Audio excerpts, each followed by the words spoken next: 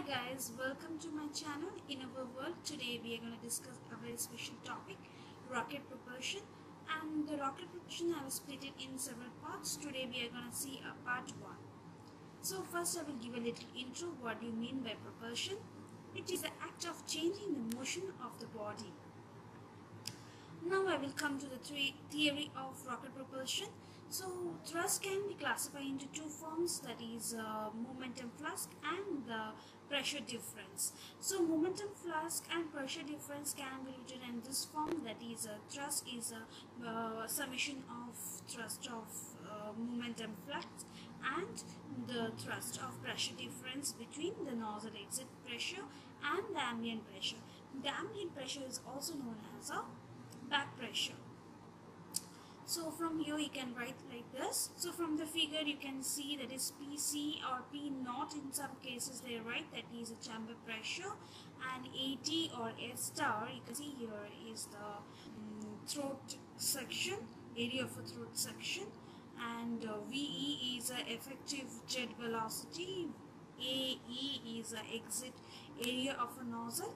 P is a exit pressure of a nozzle Suppose in some condition if there is PE equals to PE both are in optimum condition so we can write as F equals to m dot mv. So what is m dot mass flow rate of a propellant? Let's come to the next specific impulse. So what's the definition of a specific impulse? The thrust developed per unit weight flow rate of the propellant.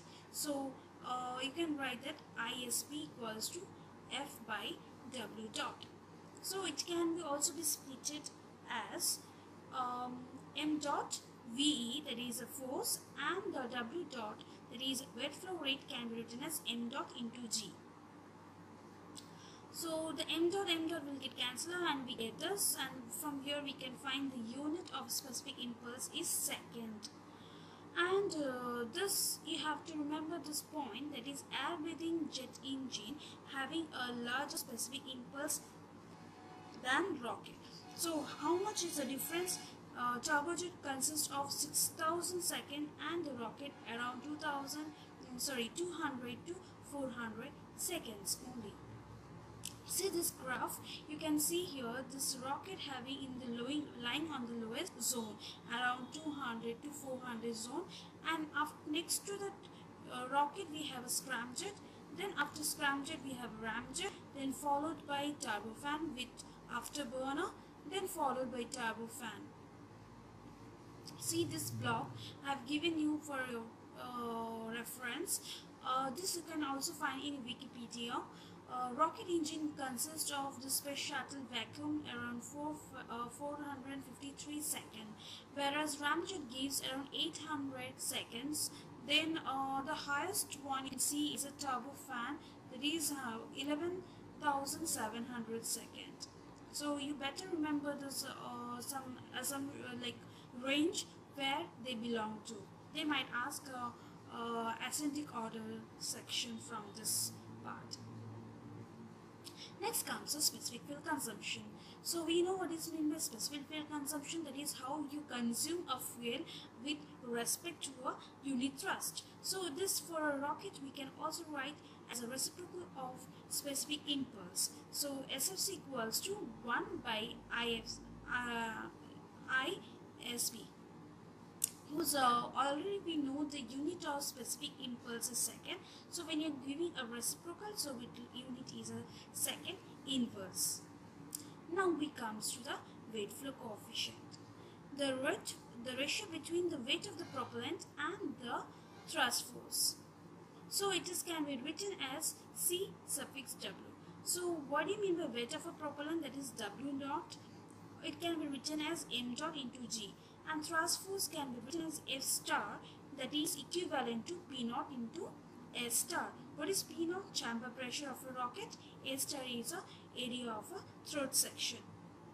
Next comes thrust coefficient.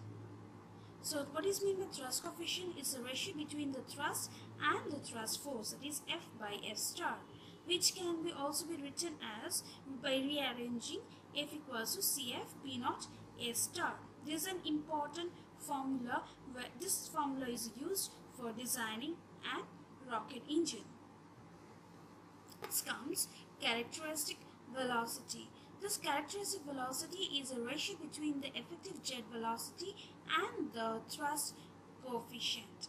So you can see in the formula this is denoted as C suffix star and uh, by rearranging the CF value we can write as P naught S star by M naught and from there you can find the unit is meter per second.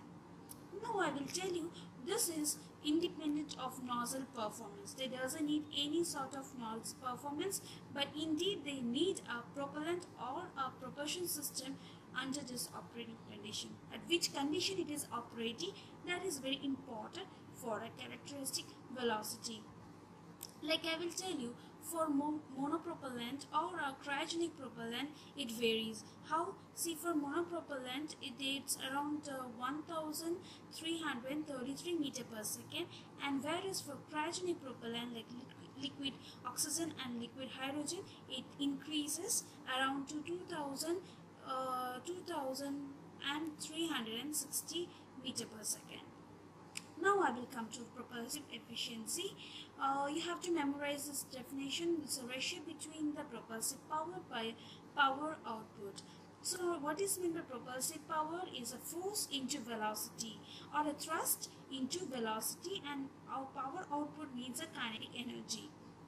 So from here you can write like this uh, that is eta p equals to twice of u by ve by 1 plus u by v whole square. Now I will tell you as very uh, another ratio that is uh, speed ratio that is nothing but a flight velocity by jet velocity that is u by e. So in place of u by e we are going to substitute the sigma that is speed ratio. So we get as eta p equals to twice of sigma by 1 plus sigma square. Now comes to the thermal efficiency. Now thermal efficiency it's a ratio between the output power of an engine by the input power of the engine which can be written as that is E thermal equals to VE square plus U square by 2 CV. What is VE is an effective jet velocity, E a forward velocity or a flight velocity we can say and CV is a heat added or a calorific value. Now comes overall efficiency. So overall efficiency is a product of uh, propulsive efficiency and the thermal efficiency. So when you combine both in the formula here we get as propulsive power by power input of engine. And when you substitute the values and we get that it's a product of uh, forward as well as a effective jet velocity by a calorific value. Now I will go for the problems. First focus on the first problem. A spacecraft's engine ejects mass at a rate of 30 kg per second with an exhaust velocity of 3100 meter per second. The pressure at the nozzle exit is 5 kilopascal and the exit area is 0.7 meter square. Determine the thrust of the engine in kilonewton. See in this question it carries 2 marks and uh, since there is no option there is no negative mark. Now what are things has been given in this problem? They have given the mass flow rate that is m dot has been given then velocity that is exhaust velocity is VE has been given then nozzle exit uh, pressure at the nozzle exit that is PE has been given then area exit area has been given that is AE has been given and what you have to find is a thrust of a engine that is T we have to find in terms of kilonewton. That is very important. Let's see the solution. Here is a given data which we have seen. Um, see in the given data the, we know that uh, F equals to m dot V plus AE P minus PA so here since the value is not given PA we have to take as 0. Got it? Next substituting the value. Next step is substituting the value. We are getting the value as 96,500 uh, Newton but they have asked in kilonewton. So our answer is 96.5 kilonewton. Very simple only you have to need to memorize this formula and simply you need to substitute it. And uh, you have to know that if the value is not given simply just consider to take it as zero. Let's go to next problem. A rocket engine produces an thrust of 1 kilonewton at the sea level then propellant flow rate of 400 kg per second. Then the specific impulse is dash in second. Now here uh, what are things has been given thrust has been given and the propellant see the unit kg per second so m dot has been given and what you have to find is specific impulse. Here this question carries one mark and since no option so it carries no negative mark. Let's see the solution here the comes given data so we have to make sure we do convert the unit correctly. So we know that what is specific impulse isp equals to f by w dot. So what is mean by w dot? Again we can write that m dot into g. So all the values is given. F we know m we know and what is about g? G is 9.8 so if we input value 9.8 in the formula, we get as ISP as 255 second. So our answer is 255 second. Comes to next problem. Uh, a rocket engine nozzle has a throat area of 18 centimeter square and a chamber pressure of 25 bar. If the specific impulse is 127.42 second, and the rate of the flow of the propellant is 44.145 Newton second inverse. Then, the, then determine the thrust coefficient in two decimal places. This question also carries two mark and since no option carries no negative mark. So what are the given things has been over here? Here they have given the throat area. See, they have given in centimeter square and the chamber pressure is given bar. We need to be focused about the unit and you have to change the unit. And uh, specific impulse has been given flow rate of flow of a propellant. So what is this rate of flow here? They see the unit here Newton per second. So here they just not kg per second. So what is given here? Here they have given a weight flow rate of a propellant that is nothing but the W dot. Let's see the solution. Here comes the solution. Uh, given data, I have written all the given data and I also have converted its its unit um, that is from centimeter to meter square from centimeter to meter square uh, from bar to uh, Newton per meter square. 1 bar is equals to 10 power 5 Newton per meter square. Uh, ISP when W dot is given. Now let's see the we know that we know this formula that is CF they asked to find the co thrust coefficient. So we know what is thrust coefficient is a ratio between the thrust per thrust force. So thrust force means P naught S star. So what can be written as further that is F can be written as ISP W dot because from the formula you know that is what is the formula of ISP is a is a uh, ratio between the thrust per weight flow rate of a propellant. So from there you can write that F equals to ISP into W dot.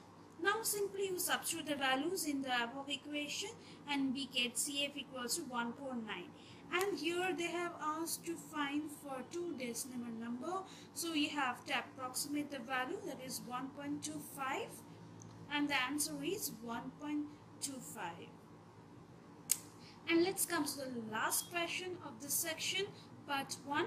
Uh, in effective jet velocity of rocket is 2700 meter per second with the forward speed of 1550 meter per second then the propulsive efficiency. Here in this problem uh, they have given uh, options. So obviously uh, it carries a negative marking. Let's see the uh, what are the things given? See the rocket velocity effective jet velocity has been given that is v is given and forward speed that is u has been given. So that is the solution. So we know the given data now we know the formula. What is this propulsive efficiency write down the formula. Then uh, we can find the speed ratio. That is sigma equals to 1050 by 2700 we get a 0.39 value and uh, after that use this formula sigma value that is eta p equals to 2 sigma by 1 plus sigma square.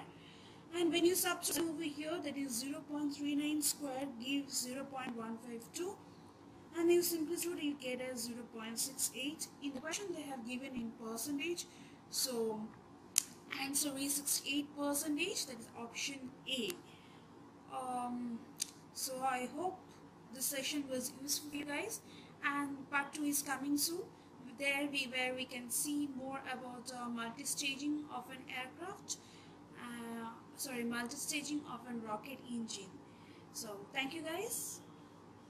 And don't forget to subscribe to my channel. If you have further inquiry you can drop me a mail to 9489 ash at gmail.com bye bye have a nice day